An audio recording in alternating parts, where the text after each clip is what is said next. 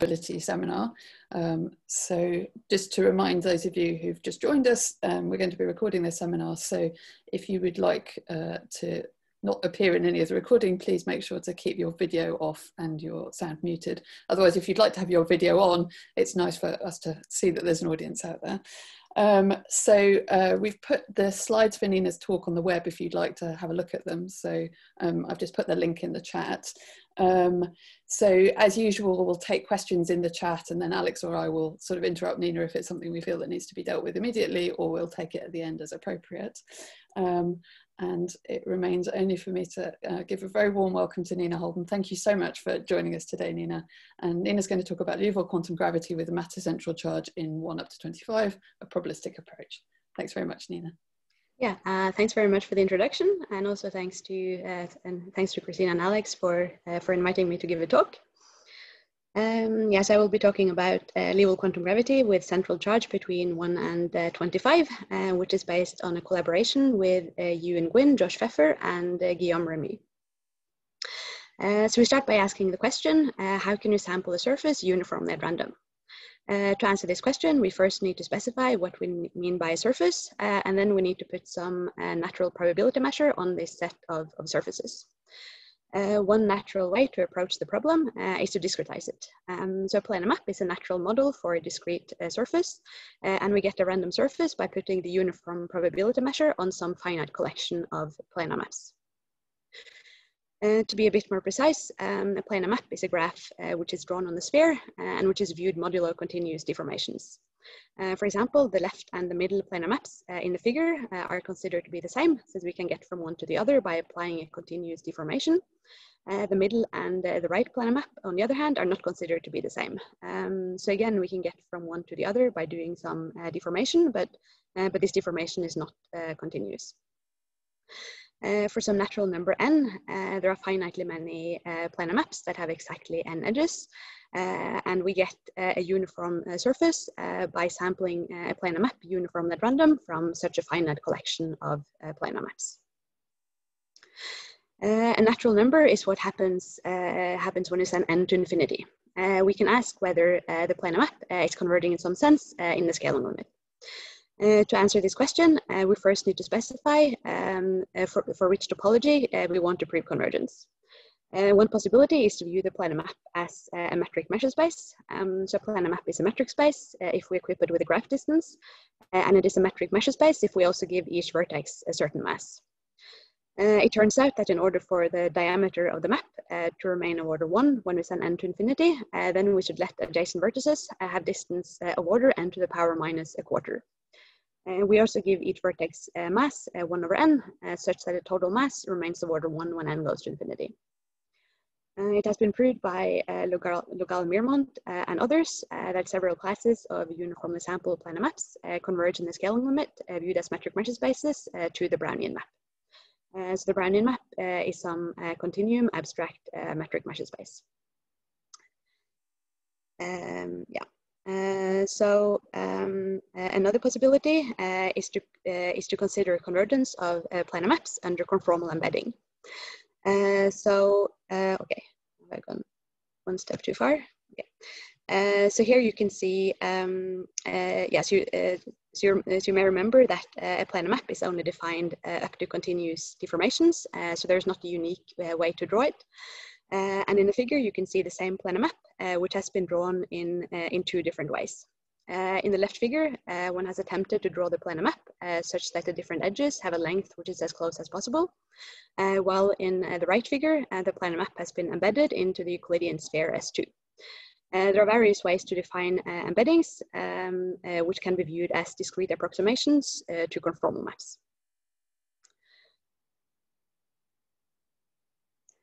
Uh, so when we embed uh, the planar map uh, on the sphere, then we get a metric and a measure on the sphere.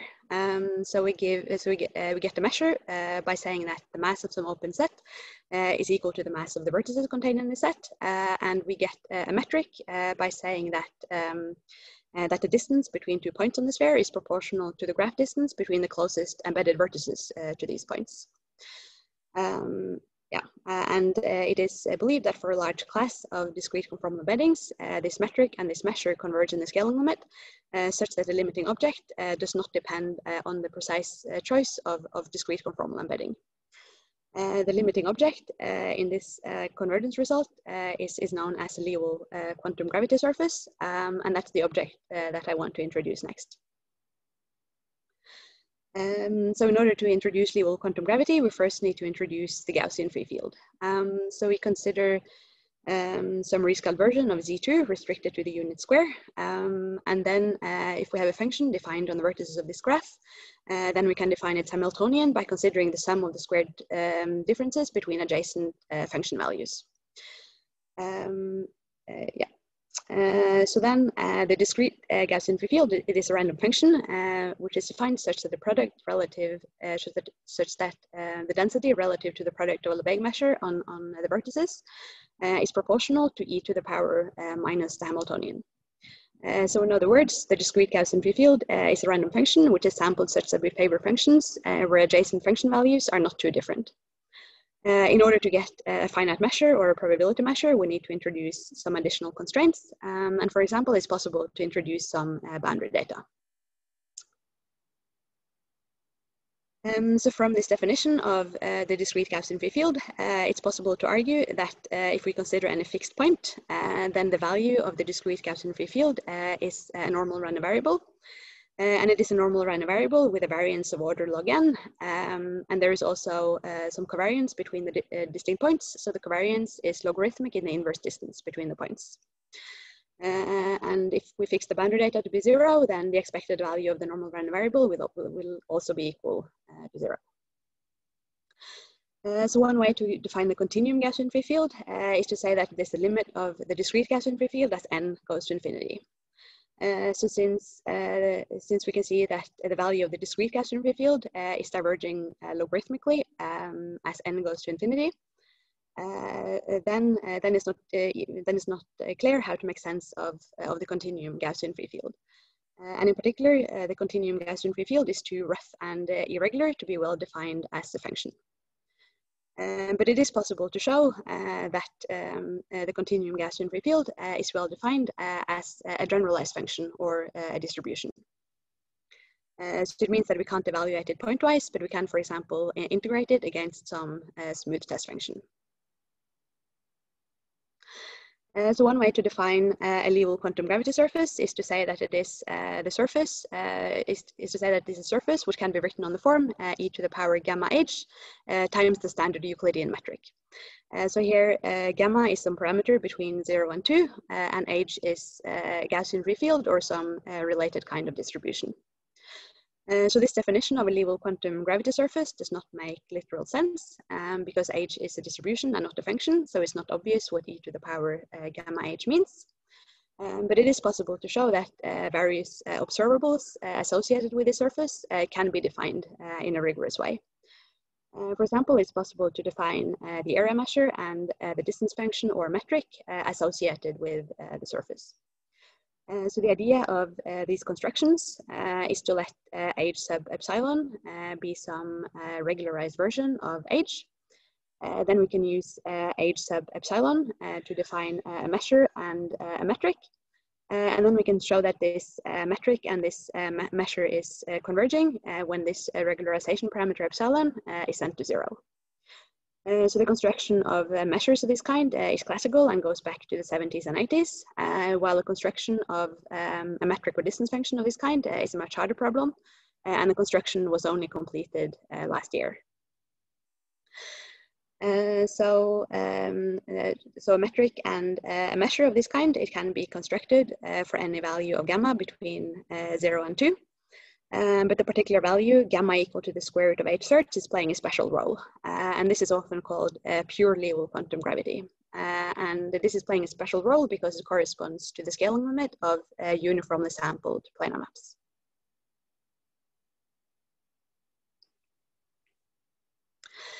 Uh, so, so far we have seen that uniformly sampled planar maps, uh, it converges in two different senses uh, in the scaling limit. Uh, so viewed as abstract metric measure spaces, they converge to the Brownian map. Uh, and under, under conformal embedding, uh, they converge to Liouville quantum gravity, um, where the parameter gamma is equal to the square root of 8 thirds.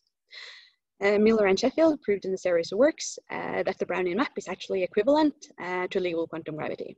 Um, so to be more precise, they proved that an instance of the Brownian map has a canonical embedding into the complex plane such that the induced Meshran metric is equal in law to a Liouville quantum gravity surface. Uh, so in particular, uh, the metric measure space associated with a Liouville quantum gravity surface um, is equal in law to the Brownian map.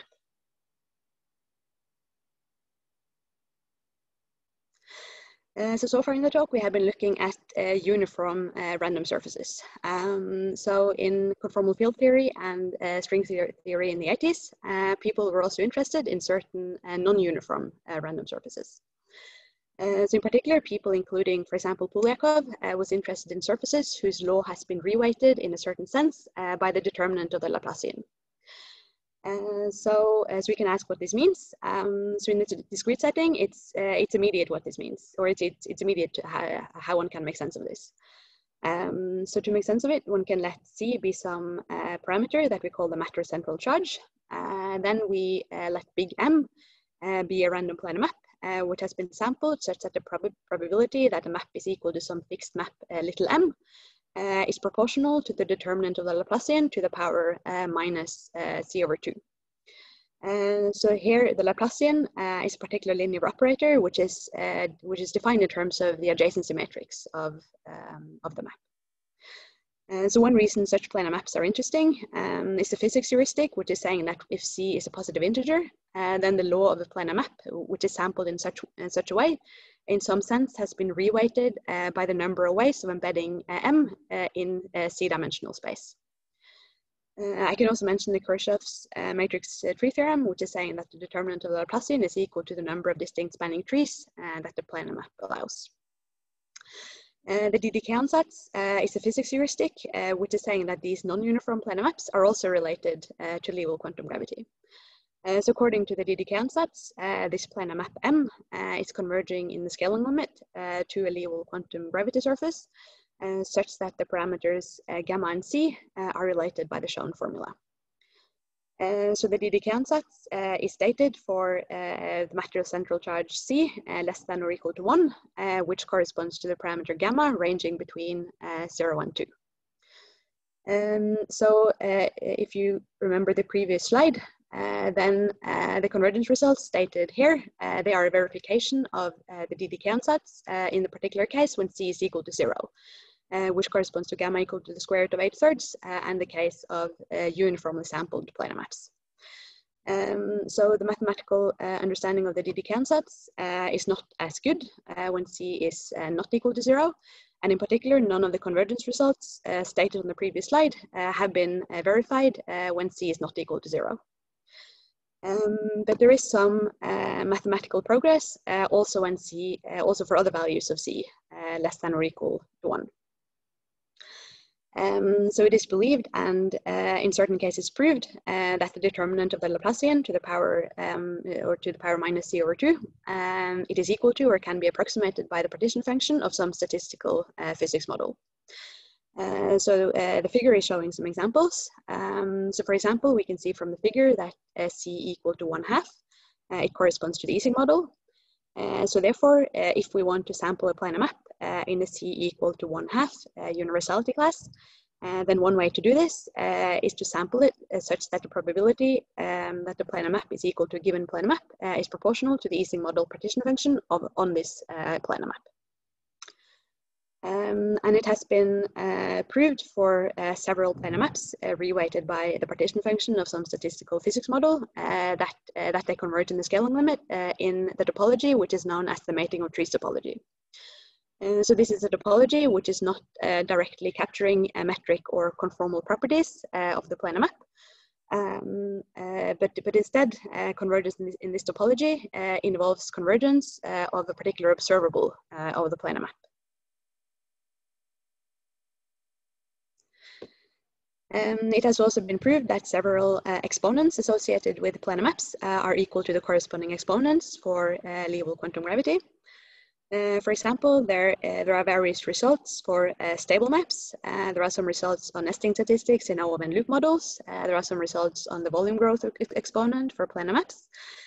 Some results on the Ising model, and so on. And there is also some very recent progress by Ang Park, Pfeffer, and Sheffield um, so, so what they prove is that uh, Liouville quantum gravity surfaces for different values of gamma uh, are related by doing a reweighting by the Laplacian determinant. Uh, so in other words, they make sense of uh, reweighting by the Laplacian determinant uh, directly in the continuum, uh, and they show that uh, Liouville quantum gravity surfaces are um, for different for different parameters are related upon doing a reweighting by this Laplacian determinant.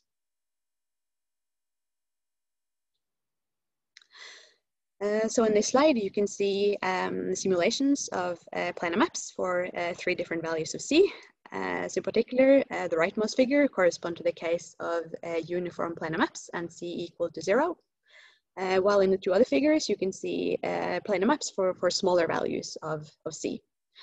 so you can see that the, so, so the figure is uh, suggesting uh, that as c is going to minus infinity, uh, then the geometry of the planar map uh, gets closer and closer to the geometry of, of the standard Euclidean sphere. Uh, conversely, uh, when c is large, then the planar map will typically be very fractal and have long, narrow tentacles. And it is conjectured in the physics literature that when c is greater than 1, uh, then the planar map uh, is converging in the scaling limit uh, to a continuum random tree. Uh, so to sum up what we have seen so far, um, so we have seen that if we consider uh, random planar maps uh, reweighted by the Laplacian determinant to some power, then if the central charge C is less than one, then we get Liouville quantum gravity in the scaling limit where the parameter gamma goes between zero and two. While if C is greater than one, then we believe that we get the continuum random tree. Uh, so if we look at the formula that relates uh, C and gamma and we plug in a value of C which is greater than 1, uh, then the value of gamma uh, will be complex. Uh, one natural question um, is whether it's possible to define some non-trivial geometry for Liouville quantum gravity when C is greater than 1. so one of the main um, so one of the main goals of this um, of this talk um, is to address uh, this question. Um, and we will see that the answer to the question is uh, yes. Uh, so when C is um, between 1 and 25, um, then, uh, then um, uh, it is possible to define some uh, non-trivial geometry for Liouville quantum gravity.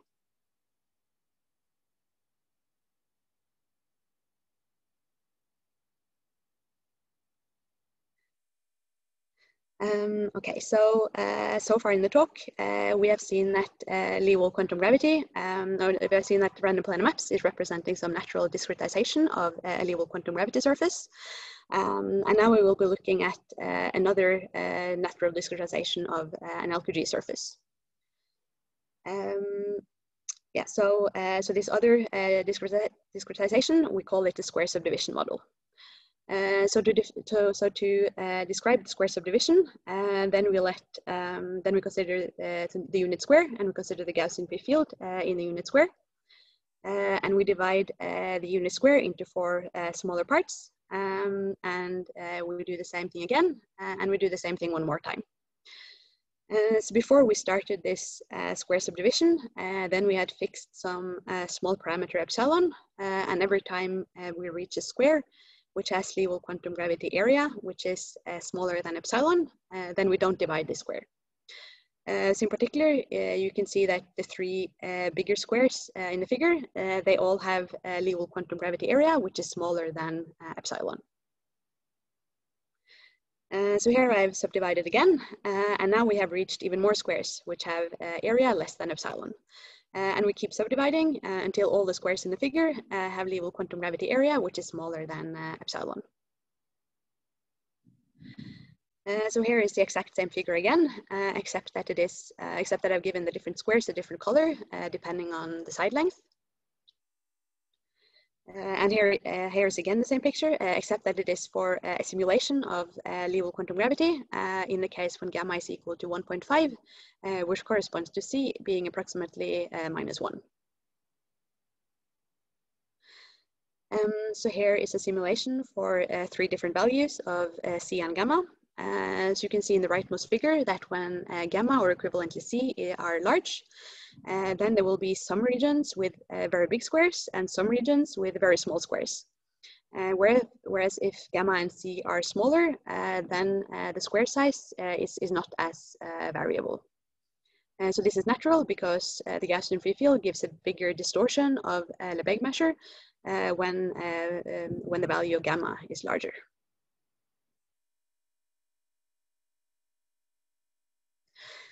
Uh, so you may recall from earlier uh, that um, a Liouville quantum uh, gravity surface, um, it, it is equipped with uh, an area measure mu and a distance function or metric d. Uh, so we can let uh, d sub c uh, be the Hausdorff dimension of uh, the metric space, which is defined by this uh, metric big D. Um, so then it was recently shown by Ang Falconet and Sun that if we look at the Liouville quantum gravity area of um, a metric ball, then this is growing like radius to the power d sub c. Uh, so this is natural um, uh, because if we are in some d-dimensional space, uh, then uh, volumes typically scale like uh, the diameter to the power d. Uh, so the precise value of uh, d sub c is not known, um, and the figure is showing the best known um, upper, uh, the, best known rigorous upper and lower bounds for d sub c.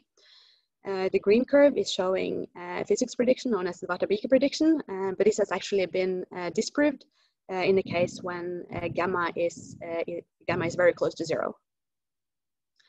in the right figure, you can see some simulations of metric balls um, for two different values of gamma and c. Uh, so the black points are the points which have distance more than one from the center of the square, uh, and while otherwise uh, the colors are indicating the distance from a point to the center of the square. Uh, so going back to this uh, square subdivision, uh, then we can observe that the square subdivision uh, is, uh, is defining a planar map. Uh, so it defines a planar map uh, if we um, identify each square uh, with the vertex of the planar map. Uh, and we say that two vertices are adjacent if and only if the corresponding squares share a boundary segment. Uh, so I fix uh, one vertex uh, of this planar map and I call it the center. so this is the vertex you can see in black. and then we can look at metric balls in the planar map. Uh, so in this figure, you can see the metric ball centered at, uh, at the black vertex uh, and which has radius equal to one. here we can see the metric ball of radius two. Here's a metric ball of radius three and so on. Uh, so one reason that this planar map of squares uh, is interesting uh, is because important properties uh, of the continuum surface uh, are reflected in this planar map of squares. for example, volumes in this planar map of squares are also growing like radius to the power d sub c, where d sub c is the Hausdorff dimension of the continuum surface. Um, so, uh, uh, so when we define the metric ball, then we consider the graph metric and uh, the volume of uh, the metric ball um, is defined to be the number of squares uh, which the metric ball contains. Um, so it has also been uh, proved uh, that for a closely related discretization of uh, the Liouville quantum gravity surface, uh, then this uh, planar map uh, is converging to the original Liouville quantum gravity surface under what is, is known as the Tutte embedding. the Tutte embedding is a particular discrete conformal embedding.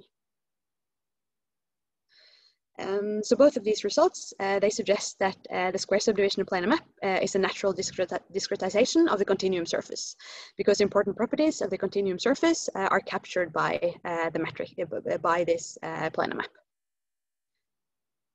Um, yeah, so, and one can even conjecture that this planar map of squares is converging in the scaling limit to the Liouville quantum gravity surface. Um, so we can consider two two points, uh, z1 and z2, uh, we can consider uh, the graph distance between these two points in the planar map of squares.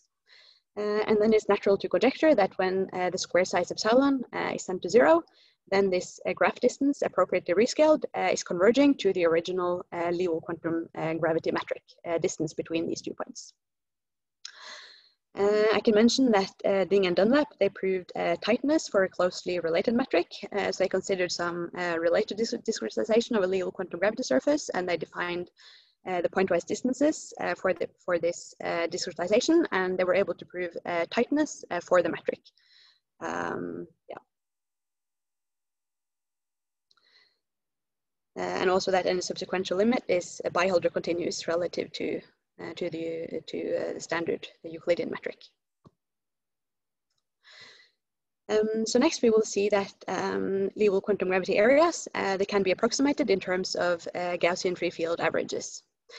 Uh, as we will see that uh, the Liouville quantum gravity area of the square S in the figure, it can be approximated in terms of the average of the Gaussian free field along the red circle. Uh, so more precisely, the Liouville quantum gravity area of the, sphere, of the square uh, to the power 1 over gamma is approximately equal to the side length of the square to the power q times e to the power uh, this uh, circle average, where the parameter q uh, is equal to 2 over gamma plus gamma over 2, uh, and, this is, and this parameter is known as the background charge. the table is showing the relationship between the various um, between the various um, parameters that we consider.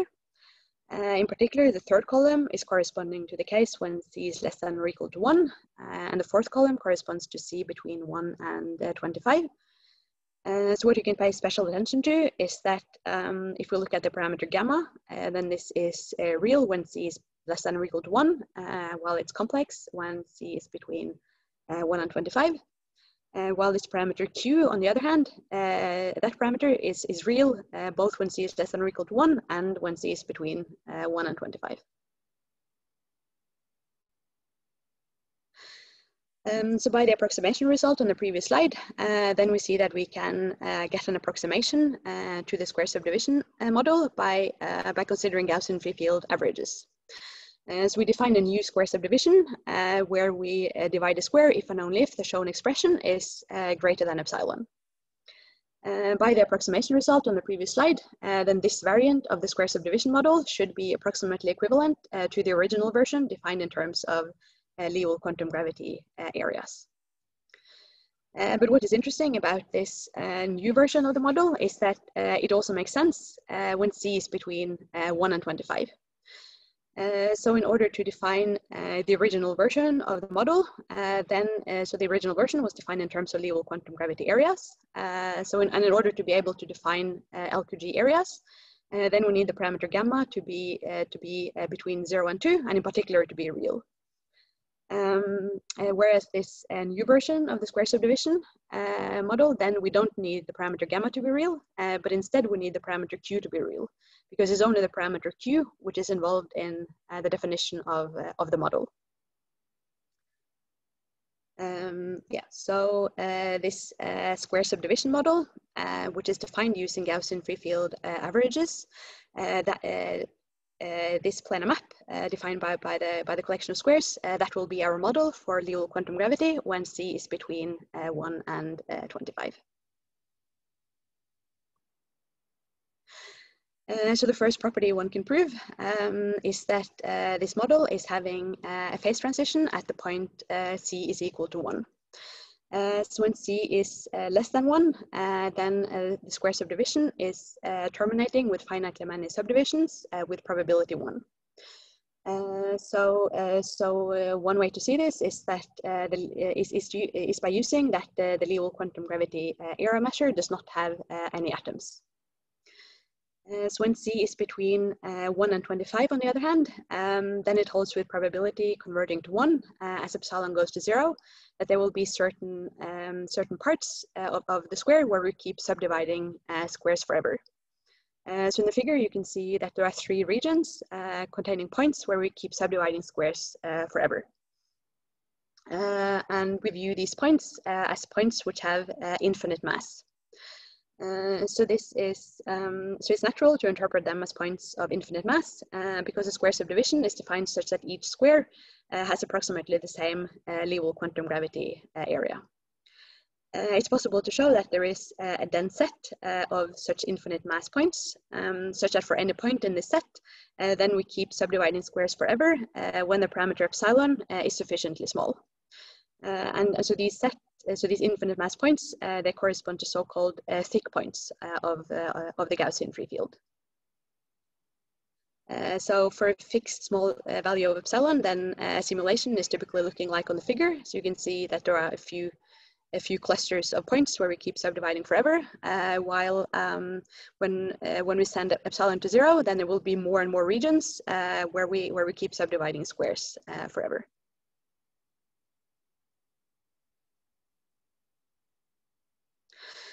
As you may remember from uh, earlier, that if we have uh, a random planar map uh, whose law is reweighted by the Laplacian determinant uh, to some power, then um, uh, then if c is greater than one, uh, then it is believed that we get a continuum random tree in the scaling limit. for this reason, we can view the continuum random tree as a finite volume model for Liouville quantum gravity with c greater than one.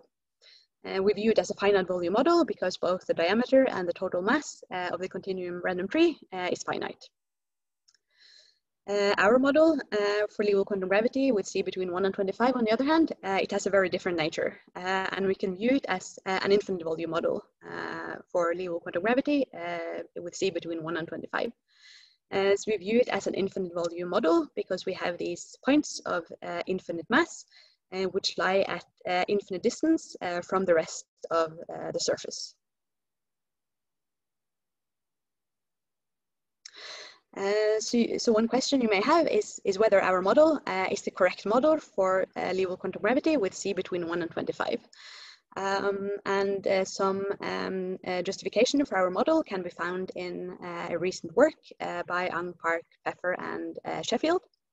Uh, so uh, Ang Park Pfeffer and Sheffield, uh, what they show is that um, the square subdivision planar map for different values of uh, of C, uh, they can be reweighted, they can be related by doing a reweighting by the Laplacian determinant. so to be more precise, what they do is that they um, let C be some real number, they let epsilon be positive and let n be a natural number.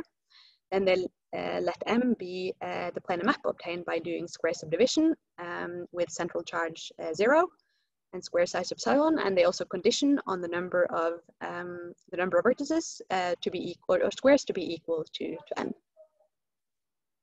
Um, so, uh, so what they do, uh, then they take this planar map and they reweight the probability measure by the Laplacian determinant. Uh, so I will not uh, give the precise definition that they use of the Laplacian determinant, um, but I can mention that it's uh, based upon um, considering a particular smooth approximation uh, to the Gaussian free field, uh, and then applying something which is known as the Polyakov-Alvarez uh, formula. okay, so they consider this Laplacian determinant and they reweight the probability measure by this, this, this Laplacian determinant to the power minus c over 2.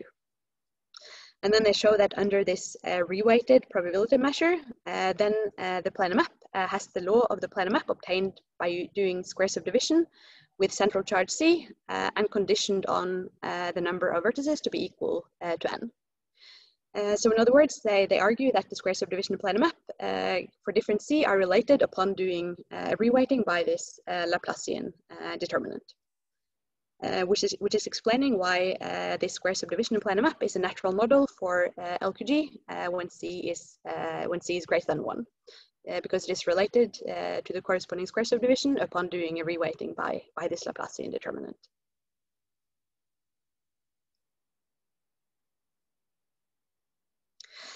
okay, so um, what sort of results are we able to prove about the model? Um, so uh, so the first result um, is we can prove um, is that uh, is a result which is suggesting that um, the dimension of uh, a Liouville quantum gravity surface in this parameter range uh, is uh, is infinite. So what we show is that if you look at the volume of a metric ball, then this is growing faster than any than any power of of the radius. Uh, heuristically speaking, uh, we see this uh, super polynomial uh, growth um, because uh, our uh, planar map, it, it, behaves in, in some ways similar to a supercritical Galton-Watson tree. so to be a bit more precise, in these regions where we keep subdividing squares forever, then the planar map of squares is reminiscent of a supercritical Galton-Watson tree. So supercritical Galton-Watson tree has exponential growth and we're able to prove super polynomial growth also in, in our setting. Um, so how do we how do we prove this result? So um, so the proof involves to consider what we call big squares and what we call small squares. Uh, so a big square is a square which has side length at least epsilon to the power one over q, uh, where q is this uh, background charge. Uh, while a small square has side length at most epsilon to the power k, where k is a parameter that I will be introducing uh, in a minute. Uh, so the first step uh, of, of the proof is to argue that uh, large squares are well connected. so by that I mean that if we consider any two large squares in the square subdivision, then they have a distance which is a polynomial in this square size epsilon. Um, okay, so um, um, yeah, so uh, so uh, so you can ask how, uh, how we prove this. Uh, so the idea of the proof is to consider uh, Gaussian free field level lines. Uh, so since the Gaussian free field is a dis distribution and not a function, it's not obvious uh, what, uh, what a level line means. but it is possible to define level lines of the Gaussian free field rigorously.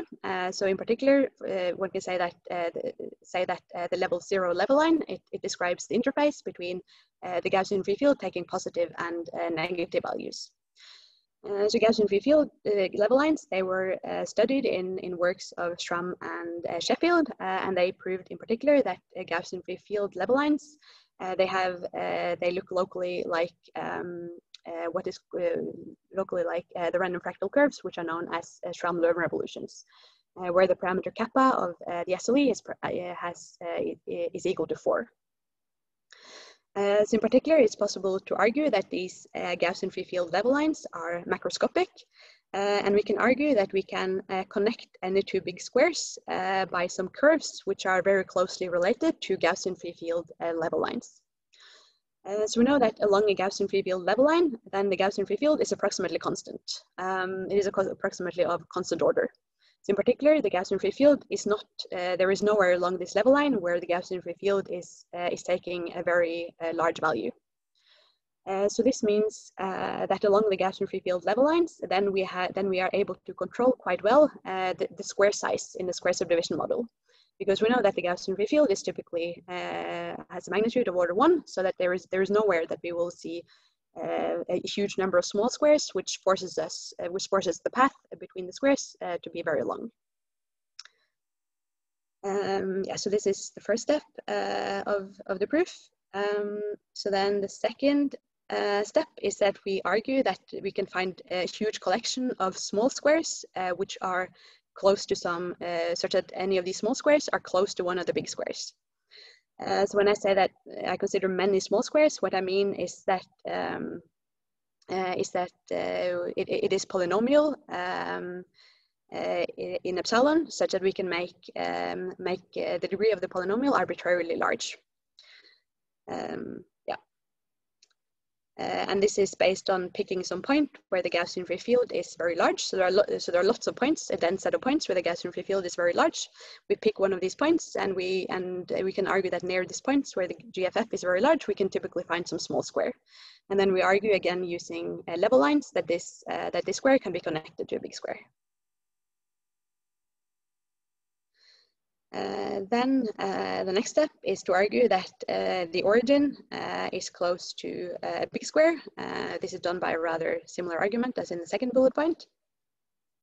Uh, and then combining these three results and applying the triangle inequality, then one can argue that there is a polynomial number of squares which have a polynomial distance from the origin, where the degree of the first polynomial can be chosen to be arbitrarily large.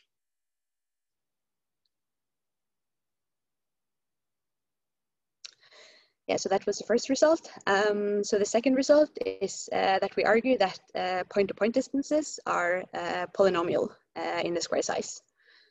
Um, yeah, so we consider two points, uh, z1 and z2, uh, and we consider the associated squares, and we can argue that the distance between these two points is, is polynomial in, in epsilon. a recent work of Ding and Gwynne, they get tightness for such point-to-point -point distances, um, uh, but they are considering another model uh, for quantum gravity with C greater than one than we are doing. Uh, they're considering a model which is known as Liouville first passage percolation. Uh, it is uh, so it is so conjecturally uh, first passage percolation um, and our model uh, for c greater than one uh, are equivalent in the scaling limit, but there are a few rigorous uh, relationships between these two models. Um, so this, so I want to briefly introduce this Liouville first passage percolation, which is an alternative model for c greater than one. Uh, so in Liouville first passage percolation, uh, then uh, one defines uh, the distance between two points uh, by considering a uh, by considering a path between the two points, then integrating e to the power xi times the Gaussian free field along this path, where xi is some parameter, and then one takes the infimum over all paths connecting the two points. Um, yeah, uh, so then, um, uh, so, so, and as before, uh, h sub uh, epsilon uh, is, is denoting some regularized version of, of h. Uh, so then when c is uh, smaller than one, um, then uh, and and the parameter xi is equal to the ratio of the parameter gamma and the Hausdorff dimension of of the Liouville quantum gravity surface, uh, then uh, it has been proved uh, that this Liouville first passage percolation distance, it converges in probability to the Liouville quantum gravity metric. So this is actually how the Liouville quantum gravity metric uh, was constructed. Uh, first one proved tightness for this uh, Liouville first passage percolation distance, and then one proved uniqueness of subsequential limits. Um, so then in this work of Ding and Gwynne, uh, they show that when uh, xi is uh, greater than some uh, critical parameter, uh, then this Liouville first passage percolation distance is tight uh, for a particular topology on lower semi-continuous functions. This xi critical, it, it, corresponds to, to the case when, when c is equal to 1. so this is the ratio between gamma and, the, and the dimension d when, when c is equal to 1. Uh, so, so, we, so we don't know um, uh, we don't know uh, the dimension d sub c. Uh, so therefore, uh, the, the, particular numerical value for xi critical uh, is not known. Um, so they, they're also arguing that if um, if we consider some subsequential limit, then if we consider two fixed points, then then the distance between these two points is finite. Um, but if we uh, pick uh, one point, which is one of these infinite uh, mass points uh, of our surface, uh, then this will have uh, infinite distance from all the other points. So we can see that the picture that they are that their subsequential limits are describing is very similar to the heuristic picture I, I was giving earlier with with our model. and conjecturally, these um, this subsequential limit is is unique. Um, yeah. um, so, uh, so it's possible um, uh, possible to argue that um, uh, via analytic continuation that xi greater than xi critical uh, corresponds to the central flight c being greater than one, uh, but I will not be going into that uh, in this talk.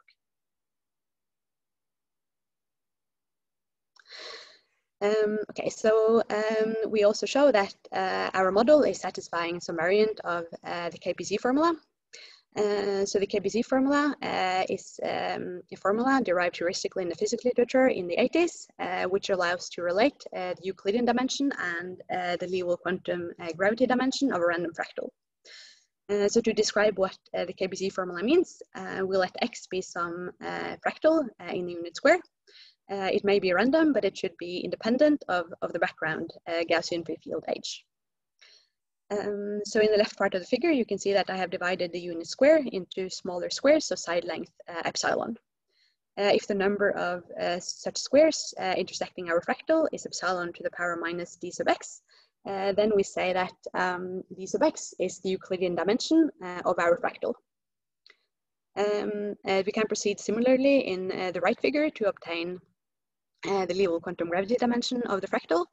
Uh, so if the number of squares in the square subdivision model intersecting the fractal uh, is of order epsilon to the power minus d sub x superscript, superscript c, uh, then we say that d sub x superscript c uh, is the Liouville quantum uh, gravity dimension of, of the fractal. the KPZ formula is an explicit quadratic formula which relates these two, these two notions of dimension. Um, so it was first derived heuristically uh, by physicists, and then um, in more recent years, uh, various rigorous versions uh, have been proved by, by mathematicians. Uh, one typical uh, application of the KPZ formula is that it can be used uh, to predict the Euclidean dimension of random fractals. in many cases, it's possible to um, to calculate to calculate um, the, the Liouville quantum gravity dimension of a fractal by using combinatorics on a planar map, and by plugging into the KPZ formula, one one then gets the Euclidean dimension of the fractal. Um, so we show that uh, some variant of uh, the KPZ formula is holding for our square subdivision model. Uh, so we have some fractal uh, x with dimension d sub x, uh, Eh, and we show that uh, the Liouville quantum eh, gravity dimension of this fractal is what one would expect according to the KPZ formula. if um, the Euclidean dimension is greater than q squared over 2, then the Liouville quantum then the KPZ formula is giving a complex answer, uh, and then we show that uh, the Liouville quantum uh, gravity dimension is, is infinite. It's possible to argue that this happens if and only if the fractal x is intersecting one of these points of infinite mass that I was discussing earlier.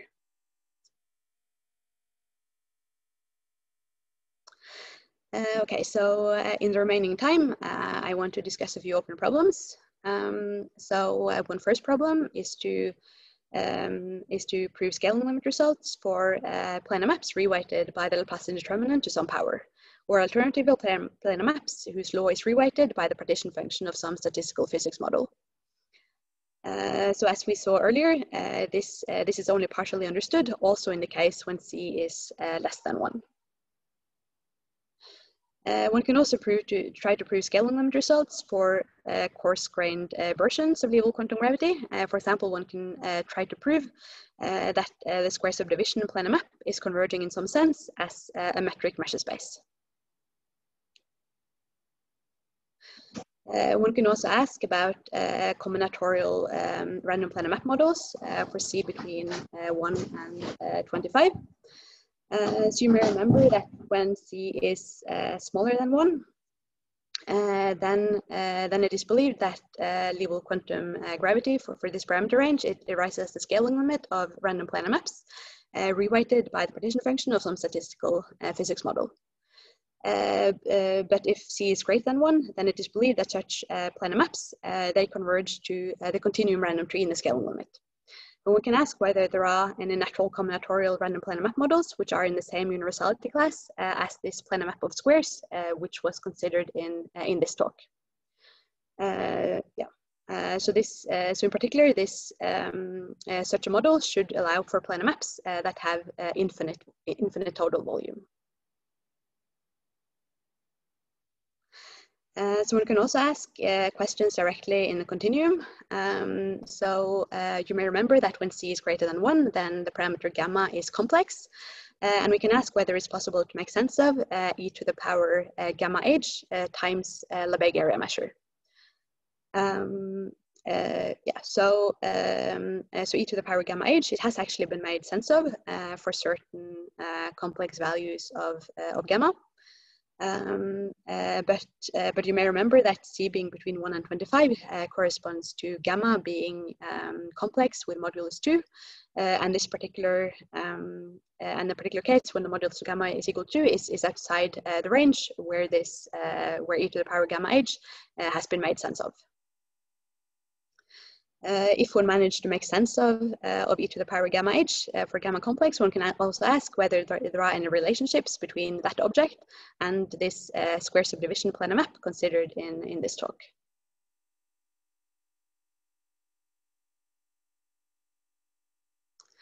Uh, one can also ask about the path integral approach uh, to Liouville quantum gravity when c is greater than 1. Um, so uh, the field uh, which, um, which we were um, considering in this talk, uh, was a Gaussian free field.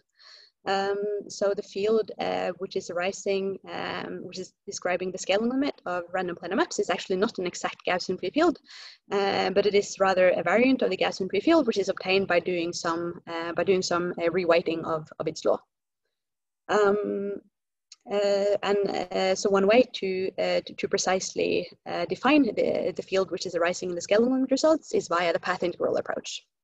Uh, so the idea of the path integral approach uh, is to consider a Lebesgue measure on the space of, of functions, uh, then and then reweighting this by e to the power minus uh, what is called uh, the Liouville action, which is uh, denoted by S sub L on, on the slide. Um, yeah, so uh, so this uh, so this construction does not make rigorous sense. Um, for example, because Lebesgue measure on the space of functions um, is, does not make rigorous sense. Um, but this path integral, approach has been made rigorous, for example, in work of uh, David Kupiainen, Rhodes, and, uh, and Vargas. And we can ask whether uh, there is a way to make sense of this uh, in the case when the parameter c is, is greater than 1. Um, so one obstacle uh, is, that, is that you can see that this uh, parameter gamma, um, which is complex, uh, is appearing in, in the Liouville action uh, for this parameter range. Uh, so one can also ask about uh, Schramm-Loewner evolutions for c greater than one. Um, yeah, so uh, the SLE is a one parameter family of random fractal curves which describe uh, the scaling limit of statistical physics models and uh, an SLE is associated with the parameter kappa. Uh, so for each value of kappa, uh, there is an associated value of, uh, of a central charge C such that kappa being greater than one, it corresponds to C being less than or equal to one. Uh, so if we're given some uh, value of the central charge less than or equal to one, uh, then there are a number of interesting couplings and relationships uh, between SLE and Liouville quantum gravity uh, with this value of, of the central charge. Um, uh, and, and, and, one can ask whether one can make sense of SLE in some way for C greater than one, and whether there are any relationships between this and the associated Liouville quantum gravity surface. Uh, so there are various models converting to SLE, which or uh, which are believed to convert to SLE, which also makes sense for um, for C greater than uh, one. Um, but it's not, uh, but, but, but they don't seem to have uh, scaling limits in the same sense as when C is less than or equal to one. Uh, so finally, we can ask about uh, the physical meaning of uh, vari various um, complex numbers obtained by analytic continuation. Uh, so there are various um, various uh, formulas uh, that make uh, that describe Liouville quantum gravity when c is uh, less than one, uh, and these, if we'll analytically continue them, then these often give complex answers, such as we saw in, for example, the KPZ formula. And we can ask whether these complex numbers have any have any physical meaning. Okay, so that that was the end. Thank you very much, Nina. Yeah, um, I'm going to ask if anybody has any questions, and perhaps I can start us off with one. Um, okay. So referring back to the, the sort of discrete model that you started with of planar maps reweighted by, let's say, a power of the number of spanning trees. Yeah, yeah. You said that there's this, this belief that yeah. that should somehow be the partition function of a statistical physics model. Is there some intuition for why that should be the case? Um, Is there a um, heuristic there? So, uh, well, so I guess in uh, in uh, so I guess it's a little bit different per uh, for depending on which model that one considers. Um, so in the case of uh, of the Gaussian free field, one can argue that it's that it's actually an identity. Uh, then of course one can. Um, it's also natural to consider the spanning tree, and uh, and then it's also an identity. I and also um, so when it comes comes to, for example, the Ising model, then there are certain results on Euclidean lattices, which gives uh, some results relating these two. So I'm not sure I can give any sort of uh, general um, uh, general way of relating these two, um, but there are uh, it's a little bit case by case depending on uh, on the model. Mm -hmm. um, yeah. Thank you.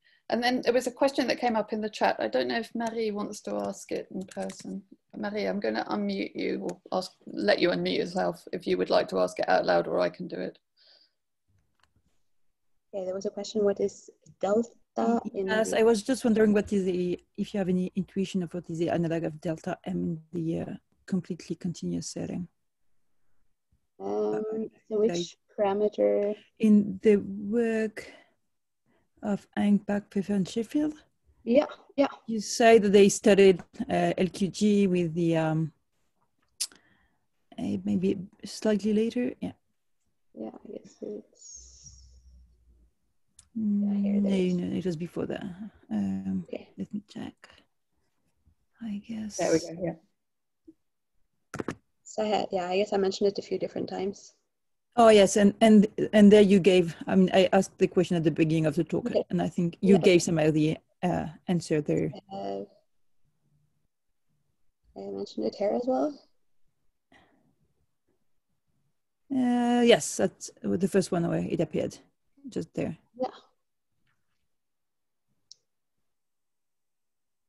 Um, So you have this uh, delta de- determinant of delta here for for L, on LQG. And ah, I see. Ah, okay. So the question is how it how is it defined? Uh, the- so yeah, that's a very uh, so that uh, so that's a very good question. So that's I guess what I I'm sort of yeah I didn't really explain it. I gave slightly more details in the following. uh, here, uh, but it's um, uh, so the way uh, so the way it is defined. Um, so so the idea is um, that one considers uh, the Gaussian free field H, and then one projects the Gaussian free field uh, onto a space of smooth functions. Um, So I think the way they the way they do it is that they um, that they condition on the average of the Gaussian free field on uh, on each square in the square subdivision, and then they say conditional on this collection of averages. What is the conditional expectation of the Gaussian free field? They somehow get some sort of smooth approximation to the Gaussian free field. Mhm. Uh, and then once they have this smooth approximation, uh, then they can use uh, something known as the Polyakov-Alvarez formula to uh, to, uh, uh, to to specify what this uh, Laplacian determinant uh, should be. Um, yeah, in the continuum. It's related to Zeta regularized uh, Laplacian det- of determinant. Uh, Okay, I- I'll have to look it up, but thanks. Okay. I can't see any other questions coming up in the chat or I, I can't see any raised hands. So I think what I'm going to do is I'm, I'm going to stop recording um, and then I'm going to invite